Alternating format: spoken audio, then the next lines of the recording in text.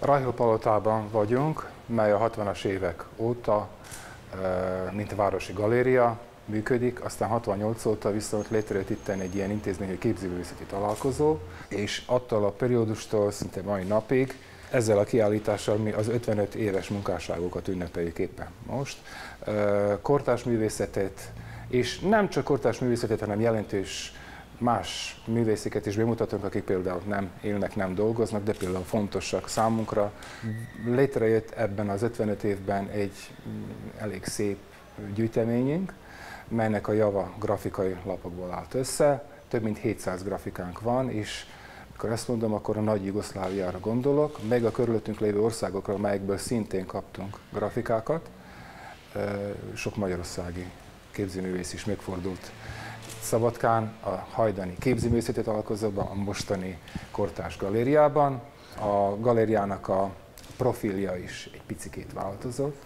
A munkásságunk most inkább a kortárs művészet felé kacsingat, és hát így 70-80 százaléka, amit itt lehet évente látni, a kiállításoknak a, a 80 százaléka tulajdonképpen kortárs művészetre vonatkozik. Amikor Rájhel Ferenc képítette ezt a házat, mint családi házat, és be is költözött családjával, nagyon rövid ideig tudott itt élni, viszont amikor távoznia kellett, akkor volt egy kívánsága, és a kívánsága az volt, hogy egy szép napon, nem tudja, hogy mikor, de azt szeretne, hogy az ő házában egy művelődési intézmény jöjjön létre, vagy kapjon új otthont. Talán 62-ben, amikor mi megalakultunk, ő már ezt nem tudta tudomásul venni, mert 60-ban meghalt, de ha valahol létezik tőle is valami icipici darab, akkor szerintem örülhet annak, hogy még mai nap is az ő házában ilyen programokat tudunk bemutatni, és izgalmas emberekkel, művészekkel találkozni. Szabadka szecessziós építészet a századfordulón alakult ki. A főbb építészei Lechner Ödön, Pártos Gyula, Reichel Ferenc és Jakab Dezső és Komor Marcel voltak, akik Szabadkán a legjellegzetesebb szecessziós épületeket alkották. A környező városokban is, Kiskunfélegyházán, Kecskeméten is kialakult a szecesszió, és nagyon szép reprezentáns épületeket találunk ezekben a városokban is. Ugyanabban az időszakban, amikor Komor és Jakab megbízást kapott a Szabadkai Városháza építésére, körülbelül akkor fejezték be a Marosvásárhelyi Városháza építését. Természetesen felhasználták azokat a tapasztalatokat, amelyeket Marosvásárhelyen alkalmaztak, ellenben más megfogalmazásban és más formavilággal jelentkeztek Szabadkán. Kétségtelen észre lehet venni a hasonlóságot a kettő között, mégis minden elemnek megvan az egyéni sajátossága. A szabadkai zsinagóga neológ zsinagóga.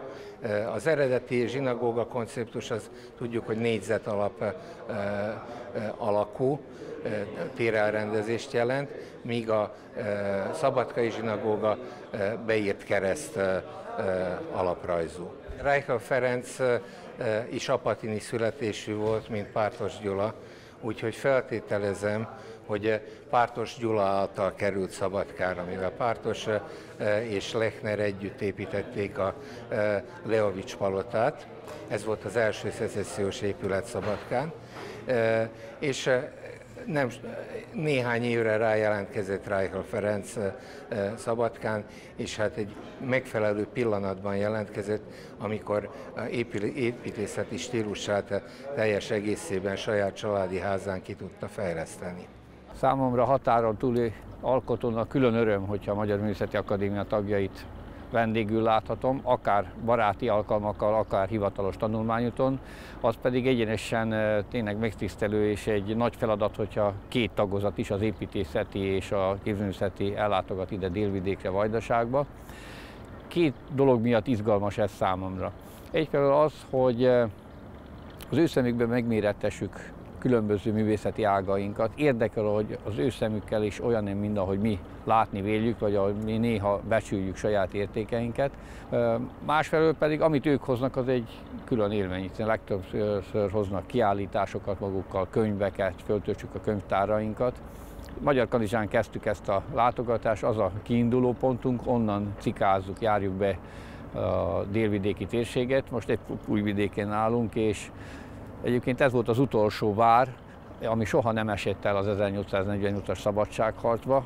Tehát különös történetek tapadnak minden egyes épülethez, még a romjainkhoz is, az Aracsi puszta templomról nem is kell beszélni, és így végigjártuk a Palicsi szecessziót, a szabadkai építészetet, az én vélemény az, hogy Délvidéknek talán legerősebb művészeti ága a képzőművészet, ebből igyekeztünk többet fölmutatni, nem csak a Szabadkai Ráhil Palotában a az alkalmi kiállításokon és vetítéseken, hanem készítettünk mi is egy kortás, igaz szűk válogatást, de a minőség jegyében.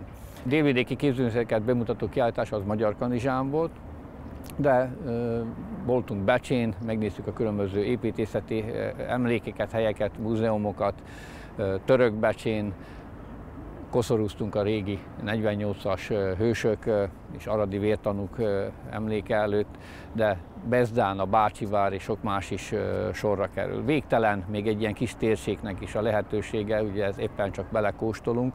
Itt bármit elérni, legyen az jó minőségű bor vagy jó minőségű festészet, talán sokkal nagyobb erőfeszítést igényel, mint más harmonikusabb közösségekben. Itt rengetegször, már csak az én rövid életem alatt is rengetegször kellett újra kezdeni sok mindent, semminek nincs folytonossága, ezért minden, amit elér az ember, az alulról, előről kell kezdeni, és ez rengeteg erőfeszítés kíván.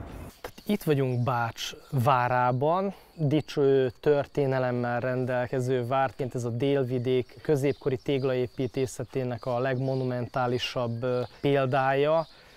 Szent István királyunk létesített itt egy püspökséget és egy vármegye székhelyet, és ugye ebből lett a Bács vármegye. Aztán ez a Bács vármegye idővel csatlakozott Bodrog vármegyéhez, és aztán ebből lett a, a Bács-Bodrog vármegye. Károly Róbert volt az, aki építette a várat, de ezt a formáját, ahogy most látjuk, ezt Váradi Péter érsek építette, és az energiáját arra fordította, hogy, hogy egy olyan várrá alakítsa át, amely esetleges török támadást is valamennyire fékezni tud, vagy meg tud állítani.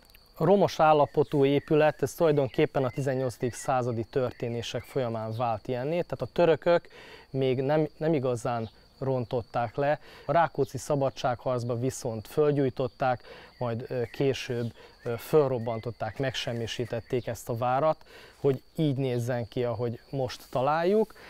És hát aztán már az idő volt az, ami a legnagyobb tényező volt, és tulajdonképpen az 1970-es években történtek ilyen állag megőrzési munkálatok, és akkor a 25 méter magas vártornyot, ami igazából a legemblematikusabb része ennek a várnak, tehát azt felújították, tehát ilyen 33 méter magas vártoronyá alakították át. A rendelkezésre álló korabeli rajzok alapján.